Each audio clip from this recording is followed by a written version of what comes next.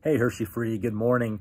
Our elder team has challenged us all to spend 21 days in prayer and then fasting if you're able to do that for the good of our body. And we're basing this also off of Philippians 1, 9 through 11. Uh, so today I'm going to be praying for wisdom over our church and over you. So let's pray together. Pray with me.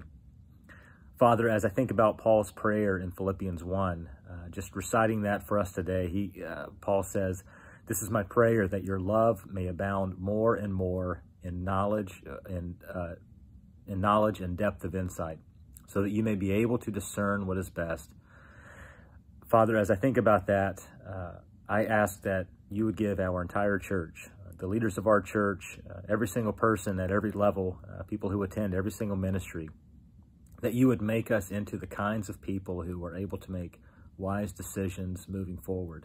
I pray that your Holy Spirit would do a work in our hearts so that our will would begin to match your will and our little kingdom would begin to match the values of the kingdom of heaven, of your kingdom, and that you would make us into the kinds of people who would make correct decisions, who would make wise and discerning decisions because we have patterned our lives after you.